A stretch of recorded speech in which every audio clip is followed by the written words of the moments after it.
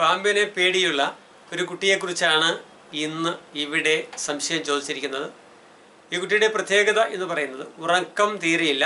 ഉറങ്ങാനായി കിടന്നാൽ തന്നെ ഈ കുട്ടി മുറിയുടെ വാതിൽ അടച്ചതിനു ശേഷം കസേരയോ മേശയോ ഒക്കെ വലിച്ചു കൊണ്ടുപോയി ആ വാതിൽക്കൽ വെച്ചിട്ടാണ് ഈ കുട്ടി കിടന്നുറങ്ങുന്നത്. അത്ര പേടിയുണ്ട് എന്നാണ് ഇതിൽ നിന്ന് നമ്മൾ മനസ്സിലാക്കേണ്ടത്. ഈ കുട്ടിയുടെ പ്രശ്നത്തെ പരിഹരിച്ചെടുക്കാൻ സാധിക്കുമോ എന്നാണ് ചോദിച്ചിരിക്കുന്നത്.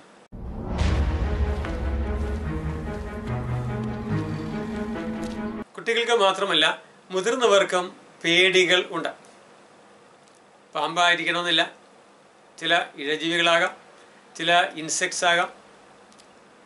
അങ്ങനെ കാണാവുന്നതോ കാണാൻ വയ്യാത്തതോ ആയിട്ടുള്ള പലതിനെയും പേടി ഉള്ളവരെ കാണാൻ സാധിക്കും. ഇത്തരം പേടിയുള്ള ആളുകളെ നമ്മൾ സാരമില്ല എന്ന് വിചാരിക്കും. പ്രത്യേകിച്ചും കുട്ടികളുടെ കാര്യത്തിലാണെങ്കിൽ ഇത്തിരി നാൾ കഴിയുമ്പോൾ അത് മാറിക്കോളും എന്നൊക്കെ നമ്മൾ വിചാരിക്കുക സാധാരണമാണ്. ഇവിടെ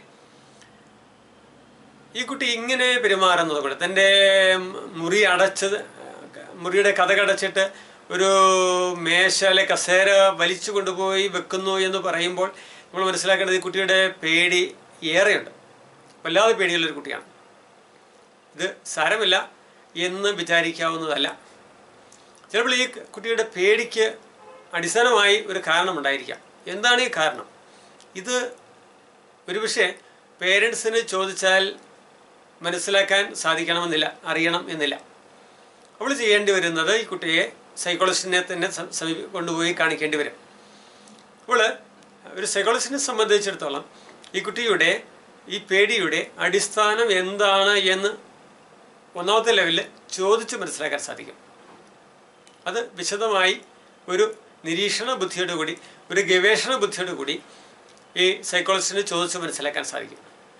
ഇനി രണ്ടാമത്തെ കാര്യം ഈ പേടി ഈ കുട്ടിയുടെ മനസ്സിന്റെ അടിത്തട്ടിൽ കിടക്കുകയാണ് എന്ന് വിചാരിക്കുക.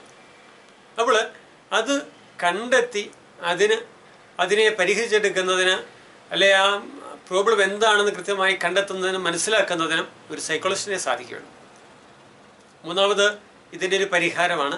ഇത് പരിഹരിച്ചെടുക്കുവാനും സൈക്കോളജിസ്റ്റിനെ സാധിക്കുള്ളൂ അടിസ്ഥാനപരമായി ഈ കുട്ടിയെ വളരെ ഗൗരവമായിട്ടാണ് ഈ പേടി ബാധിച്ചിരിക്കുന്നത്. ഈ പേടിയെ ഒരു ഒരു ക്ലിനിക്കലായി തന്നെ പരിഹരിച്ചെടുക്കേണ്ടത് ആവശ്യമാണ്. അത് തീർച്ചയായും സൈക്കോളജിസ്റ്റിന് സാധിക്കും. സൈക്കോളജിസ്റ്റ് തീർച്ചയായും കുട്ടിയുടെ പ്രശ്നം കണ്ടെത്തി പരിഹരിച്ച് മാറ്റുന്നതാണ്.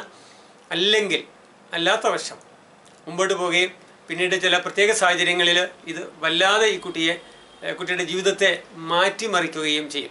ഒരു പെൺകുട്ടിയാണെന്ന് വിചാരിക്കാം. ഈ കുട്ടിയെ കെട്ടിച്ചു വിട്ടു.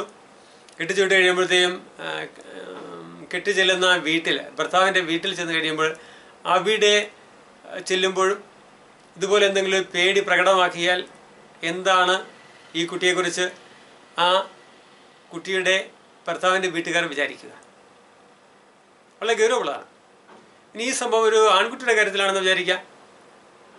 കല്യാണമൊക്കെ കഴിച്ച് ഒരു കുടുംബജീവിതം ആരംഭിക്കുന്ന സമയത്ത് മണിയറയിൽ കയറുന്ന സന്ദർഭത്തിൽ ഈ ആൺകുട്ടി ഇതുപോലെ ഏതെങ്കിലും സന്ദർഭം മനസ്സിലോർത്തിട്ട് പേടിച്ച് മണിയറയുടെ വാതിൽക്കൽ കസേരയോ മേശയോ ഒക്കെ വലിച്ചു കൊണ്ടുപോയി ഇട്ട് കഴിഞ്ഞാൽ എന്തായിരിക്കാം?